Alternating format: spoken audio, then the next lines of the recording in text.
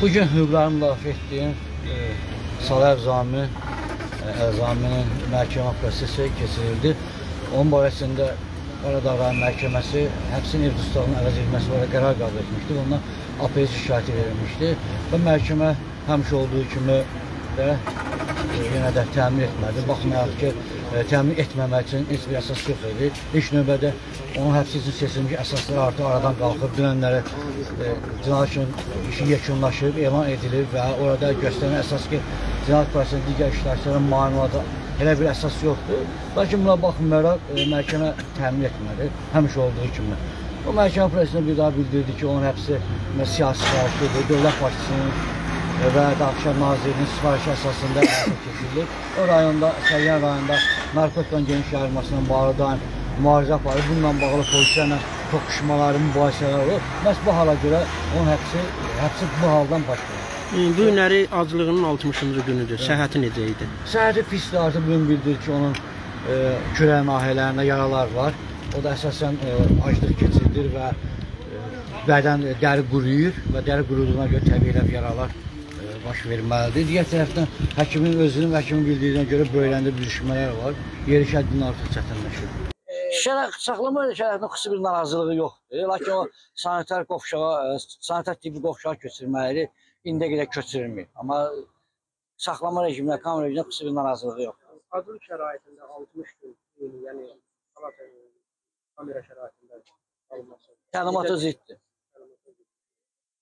Dünən bildirmişsiniz ki, materialları artıq yekunlaşdırılır. Hə. İşte dünən e, istinaq yekunlaşması elan edildi. Bu iş materiallarla tanış olacaq.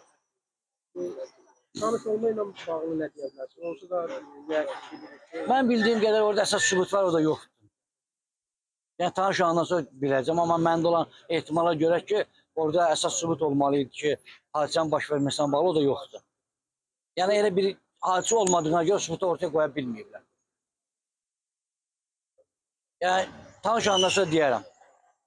Azərbaycanda məhkəmə sistemi yoxdur. Elə bu yaxınlarda rəsmən bir daha sübut olundu ki, ümumiyyət Azərbaycanda məhkəmə sistemi bir mənalı şəkildə məhv edilibdir. İnam Kərimovun ali məhkəməyə o cür biabırcasına, konstitusiya tüpürərək, konstitusiyanı aşağılayaraq, normaları aşağılayaraq ə, sədr təyin edilməsi bir daha göstərdi ki, İlham Əliyev ölkədə hüquq adına heç nə qoymuyor. Ə, Əli Zamin Salayev siyasi məhbusdur, vicdan məhbusudur.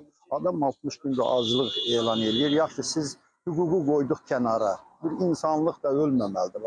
Hər an adam ölə bilər.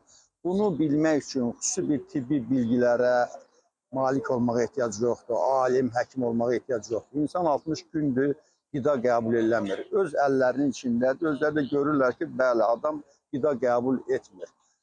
Məhkəmə olacaq, adam ev tutaqlığında olsun, məhkəməyə evdən gəlsin, getsin. Nə olasın? Gündə bir ağır cinayət törətmiş məmurları açıb azadlığa buraxırlar, amma Əlzamin Salayev buraxmırlar. Demək, İlham Əliyev göstərmək istəyir ki, azlıq aksiyasına heç kəs daha əl atmasın, adamlar öləcək, amma biz onu azad etməyəcəyik. Yəni, şərliyib həbsə atdığım adamlar heç vaxt azlıq aksiyası keçirməz.